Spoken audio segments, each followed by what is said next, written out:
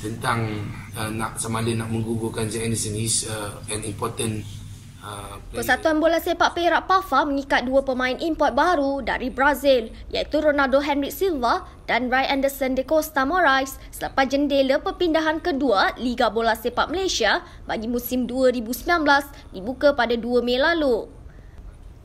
Presidennya Datuk Seri Ahmad Faizal Azumu berkata kedua-dua pemain telah bersetuju untuk menandatangani kontrak selama enam bulan dan dijangka akan diturunkan pada perlawanan suku akhir kedua Shopee Piala FA 2019 menentang PKMP FC pada 11 Mei ini.